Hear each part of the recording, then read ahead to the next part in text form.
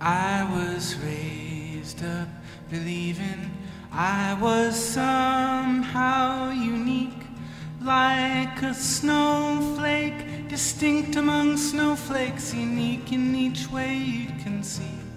And now, after some thinking, I'd say I'd rather a functioning cog in some great machinery, serving something beyond me. But I